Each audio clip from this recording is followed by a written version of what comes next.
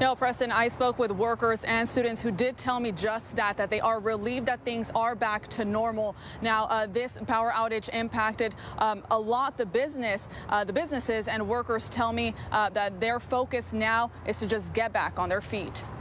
This strip along Pacific Avenue has been quiet since July 6 when businesses had to shut down because of a power outage. Workers saying they've been struggling to make ends meet and the businesses have taken a big financial hit. Our employees and everything that have been out of work for over three weeks now. And so it's been difficult on us to try to uh, make rent uh, for this place on here, but also to try to keep our employees, um, you know, in their, in their houses and everything. While some businesses have opened up again, others are waiting for the health department to give them the green light. Over at the UW Tacoma campus, students had to shift to online classes.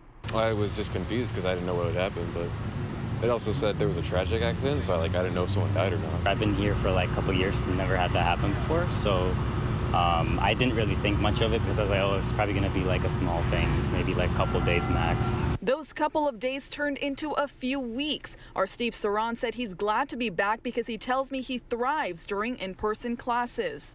At home, I can get distracted with things. And in, in person, it's like I'm actually like in a class environment where other people are also wanting to learn. As for the businesses on the strip, workers say they can't wait to welcome customers back. We're hoping in just a couple days we can get this strip a little bit more alive and, and see people coming back to this area.